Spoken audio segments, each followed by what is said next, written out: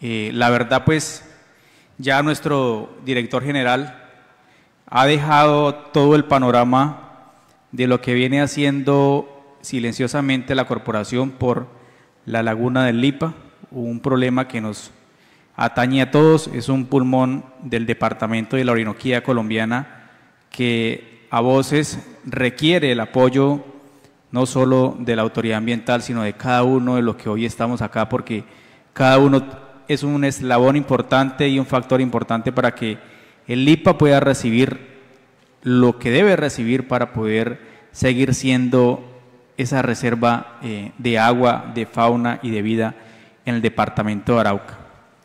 Yo quiero eh, desde la dirección territorial mostrar y corroborar algunos aspectos que mencionaban las doctoras de la Universidad Nacional y que están ocurriendo y que son recientes. Estas contravenciones que vamos a ver están sucediendo ahorita en el IPA.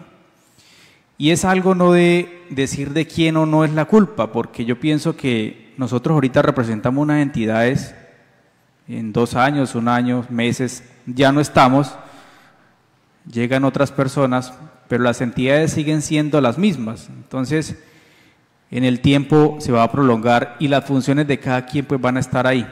Por eso voy a compartir, si quiere, siga Inge.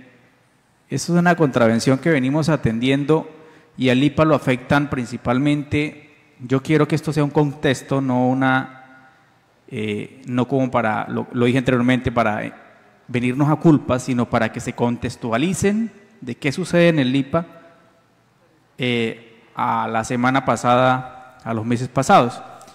Tres grandes problemas, la tala indiscriminada, las quemas ¿sí?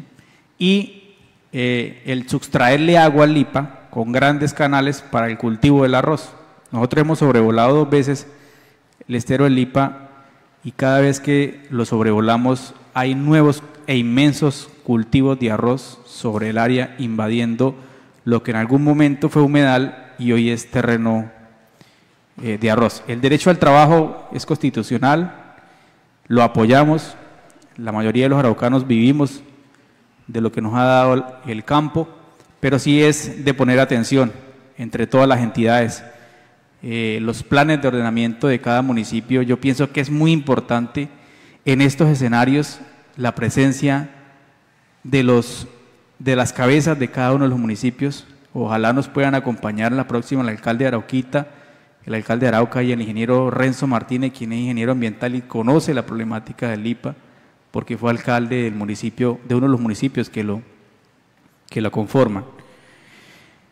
Esta es una contravención.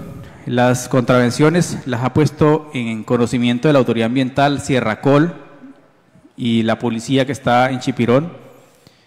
Aquí vemos una, una problemática donde pues vemos una tala de eh, este sector y una quema que hacen personas, eh, en este caso ya hay dos posibles infractores que están eh, con nombres identificados.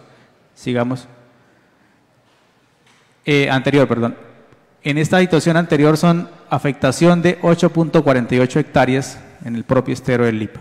¿sí? Siguiente, por favor.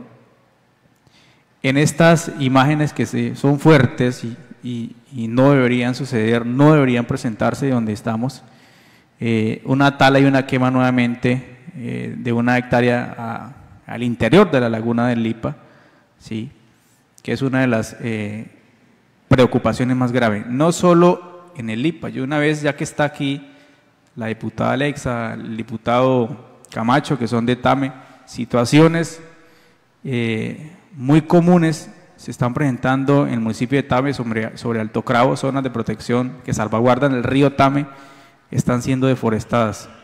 Y es una alarma que tiene el departamento de Arauca. No somos todavía departamento como el Amazonas, como otras áreas donde la madera es un recurso ilegal. Todavía no, pero ya la expansión agrícola nos está llevando a aparecer por ahí en los indicadores a nivel nacional y es lo que no queremos y, lo vamos a hacer, lo vamos a lograr eh, entre toda la institucionalidad. Debe ser de toda la institucionalidad.